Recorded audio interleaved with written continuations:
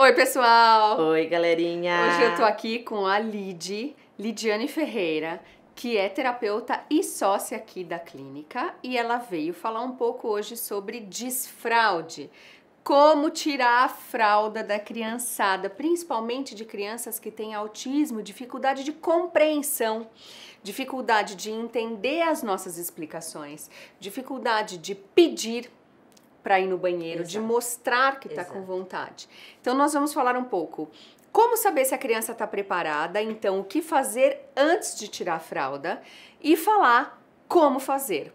Conta pra gente, Lid. É, pessoal, assim, é um tema que gera muita ansiedade nos pais, né? Por justamente eles não saberem o que está por vir, uhum. né? Muitas vezes a, as crianças nessa idade elas, elas não falam, elas não apresentam é, a iniciativa, uhum. né? Qual idade, Lid, você acha ideal? Ó, oh, o que nos estudos mostram pra gente que a criança tem uma maturação corporal, uhum. né? Que é por volta dos dois anos e meio. Certo. Certo? Então a gente sempre espera pelo menos dois anos e meio para começar o processo. Exatamente. Então quando a criança Exatamente. faz dois anos e meio, a gente começa a fazer a preparação para isso. Exatamente. E como você acha legal fazer? Pessoal, para o desfraude ocorrer, existe algumas etapas que nós precisamos estar passando. Lembrando que essas dicas servem para, para criança com desenvolvimento típico e atípico. A primeira, a idade da criança. É necessário que essa essa criança possua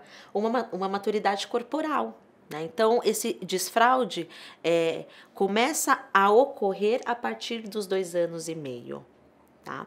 Segundo ponto, é, será que tem alguma condição médica que pode impedir esse desfraude? Uhum. Por exemplo, uma infecção urinária. Uhum, uhum. Certo. Então a primeira fase é olhar as condições orgânicas. Exato. Ver se está tudo ok com a saúde da criança e ver se ela tem maturidade corporal, porque qualquer criança está preparada com dois anos e meio, a partir de dois anos e meio, é isso? Exato. Mesmo as crianças com desenvolvimento típico. Sim, sim, sim. Exato. Okay. Todos. Ok. A próxima etapa, nós devemos observar as condições comportamentais dessa criança. Será que ela segue segmentos de comandos simples, né? Como vem aqui, espera, fica, né? Porque esse processo também é sinal de uma maturação cognitiva durante esse processo do desfraude. Uma uma outra questão muito importante nesse processo é a criança ela, ela ter uma afinidade e não ter uma resistência frente ao vaso, não ter aversão de ir ao banheiro, de, de, de sentar, né? Porque esse processo irá facilitar com que essa criança comece a se adaptar à, à rotina dela do, do banheiro.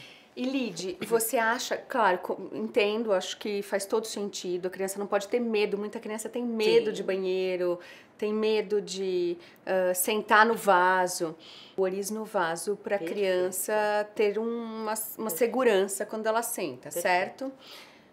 Hoje nós temos diversos modelos e é fácil de encontrar em sites de redutor de vaso. Tem uns que possuem até degraus, é, apoio para que essa criança possa sentar, para se sentir segura. E você acha ideal já começar com esses é, redutores de vaso e adaptação no próprio vaso sanitário da casa ou começar com pinico? Tem alguma preferência?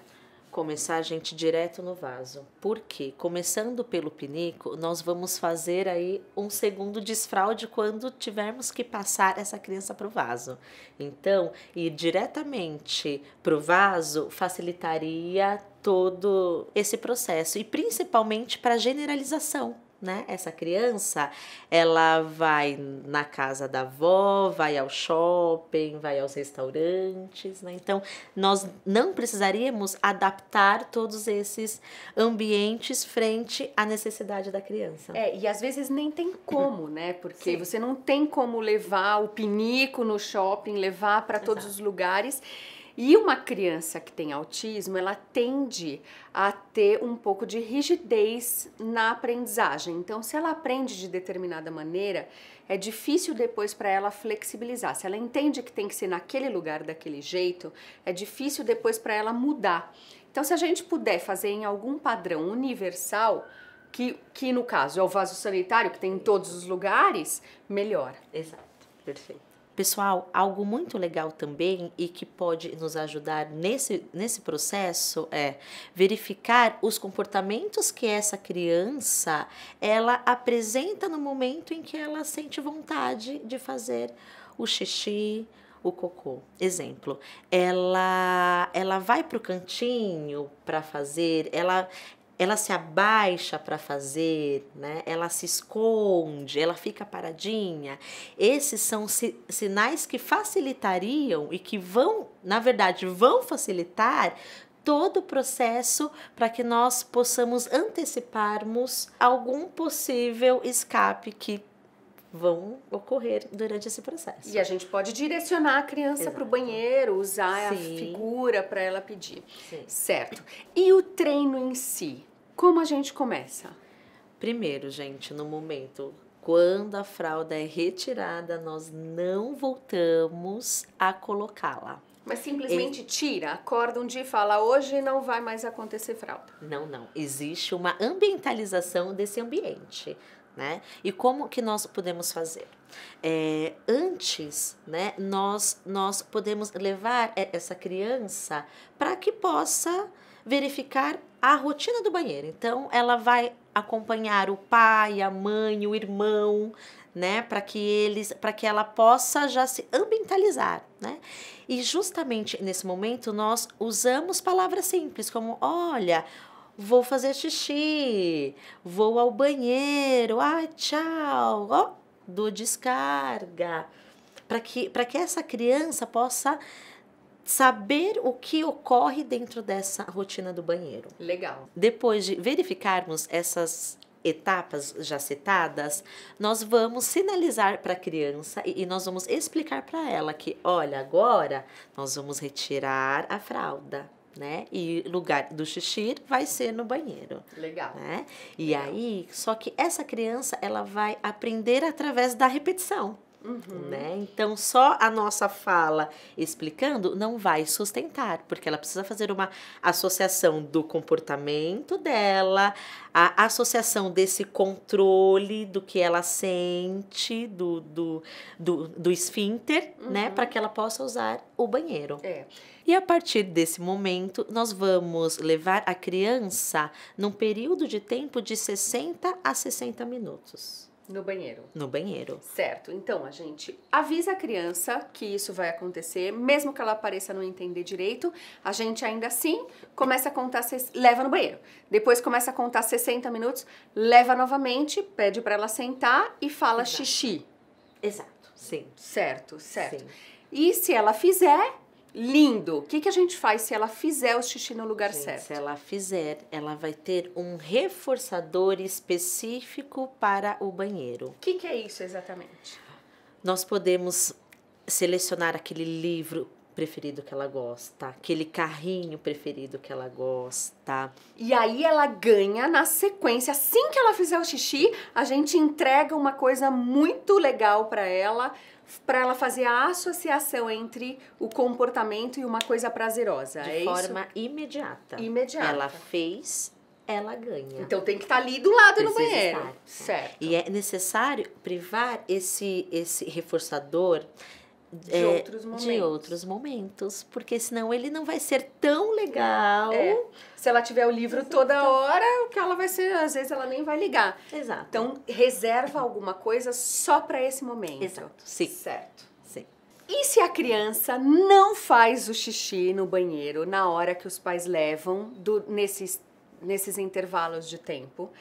E o que acontece muito? Acabou de sair do banheiro, faz o xixi ali, na roupa, no chão é um, é um comportamento que vai ocorrer com, com certeza. muita frequência ainda durante esse processo. Normal, né? então. Normal, normal. O que fazer nessa hora?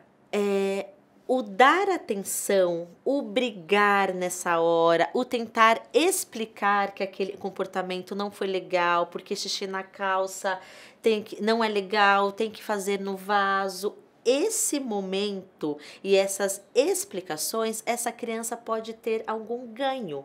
Então, o ideal é que nós troquemos essa criança, mas sem conversar com ela, sem dar bronca, sem tentar explicar para que aquele comportamento, né, que não foi positivo, Uhum. Para que ela não tenha atenção. Por quê? Porque senão ela pode usar esse fazer xixi na roupa em outros momentos do uhum. dia, né? Uhum. E, e por fazer na roupa, ela acaba tendo algum ganho, que é o ganho da atenção. Hum, certo. Então, o que você está eh, explicando é que as crianças não podem confundir um comportamento inadequado, que é de escape na roupa, com Sim. ganho de atenção dos pais. Sim. E que então a gente tem que deixar bem clara a regra, tem que garantir que a criança compreenda que xixi é no banheiro antes de, de, escapar. E a gente pode até usar materiais concretos, figuras, e deixar no banheiro a foto de uma criança fazendo xixi, o desenho de uma criança fazendo xixi, para que a gente tente garantir a compreensão.